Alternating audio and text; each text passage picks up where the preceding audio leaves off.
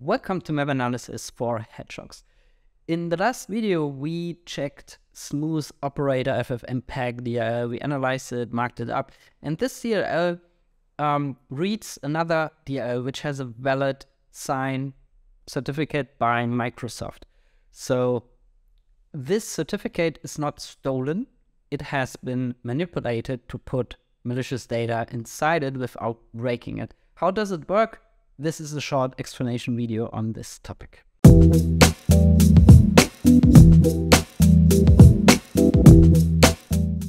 Let's talk a little bit about Authenticode signature abuse. Now, in the smooth operator supply chain attack, we had a trojanized ffmpeg.dll. This was patched uh, to execute malicious code, and this code extracts data from D3D compiler 47 DLL. Now, the interesting thing about this one, it has a valid sign. So let's check this.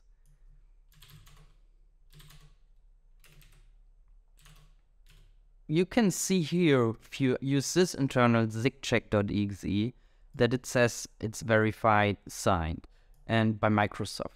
So in general, such files have higher trust value. They are seen as more trusted than non-signed files, especially from a signer like Microsoft.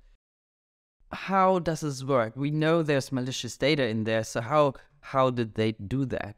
Generally, people can either steal certificates or they can manipulate them in a way that they are not broken. This is what happened here. So remember, we found this marker FEEDFACE, feed phase in the file that is what this FFmpeg uses to uh, know where the encrypted malicious data starts, where the shellcode starts. When you search for that,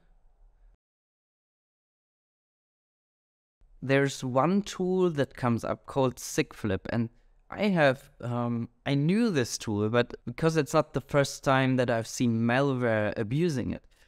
But the interesting part here is that this code in the SigLoader.cpp, that is exactly the code in the ffmpeg file.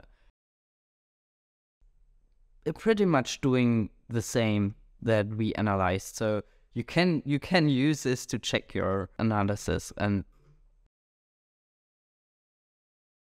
I recommend that you also read the README here. If you check down below the details section, it explains how it works, how authentic digital signatures work, and how the tool abuses them. But there's even one better uh, article, which is here. I did not found it on the original MSDN blog anymore, but it's still in the Wayback Machine, and it it's an article about Authenticode signing and how it can be abused. Legitimate applications also abuse this, especially personalized installers. The mere fact that someone abuses Authenticode signatures to put their data inside is not an indicator that it's malicious.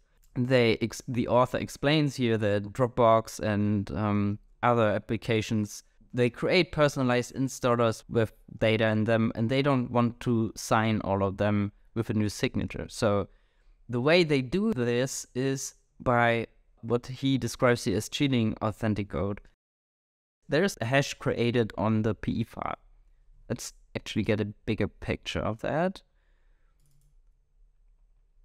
the certificate data to verify that the file has not been manipulated, they will calculate a hash. And then this hash is embedded in the certificate table and compared to the actual hash then at the point of checking if this is valid. So if anything changes inside of the um, white areas, then the certificate is not valid anymore. However, certain parts of the file must be excluded because they are part of the certificate. So that means specifically the certificate table and data directory is the, the Windows checksum. And of course, the certificate structures themselves are not part of this hash. Anything that's put inside here will not break the signature.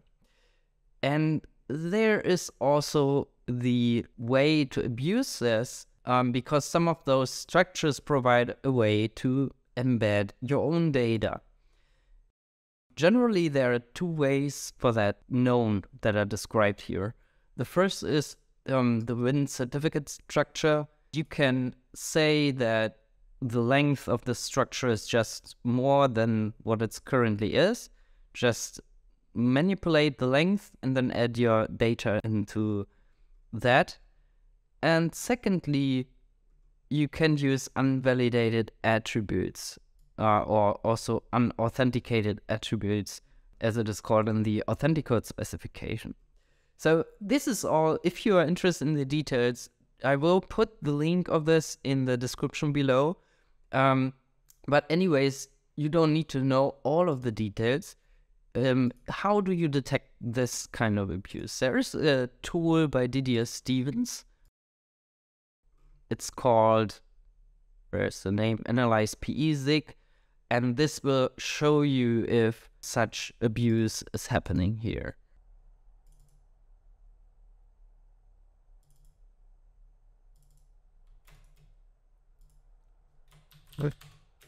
So we will execute this tool first on a file that is not where this abuse is does not happen, and that is the 3CX desktop app because that was validly signed.